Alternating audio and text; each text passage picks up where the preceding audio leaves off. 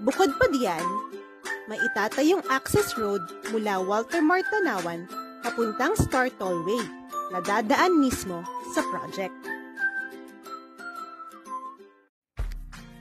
Ang Tanawan Park Place ay may kabuuang 22.5 hectares na may total units na 1,857. Kumpleto ang project sa amenities tulad ng entrance gate, basketball court, clubhouse, playground, gazebos, sunken gardens, at future location for commercial area. Ang itatayong mga bahay dito ay Jasmine Single Attached with 590 units, Jasmine Townhouse with 620 units,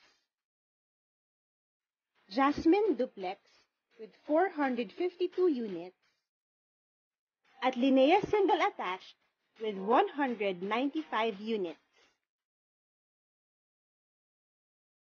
Narito ang walkthrough ng Jasmine at Linnea turnover bare unit.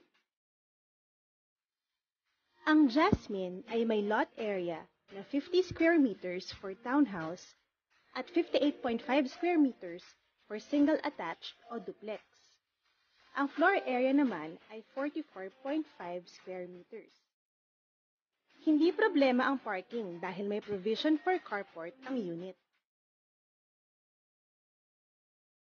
Sa ground floor, makikita ang provision for living area, dining area, and kitchen.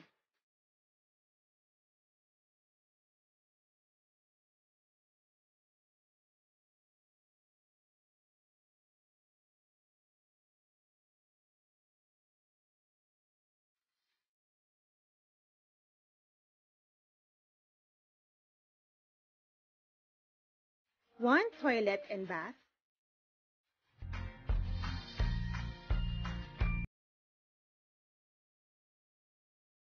at service area.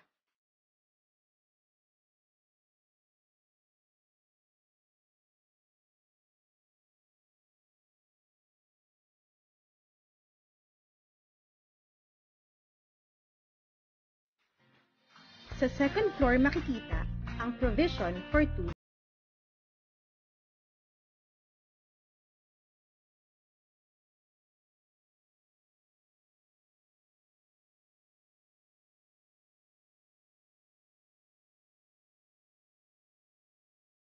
Kaya single attached ay may minimum lot area na 100 square meters at floor area na 77.25 square meters.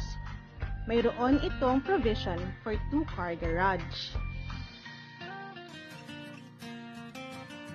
Sa ground floor makikita ang provision for living area and dining area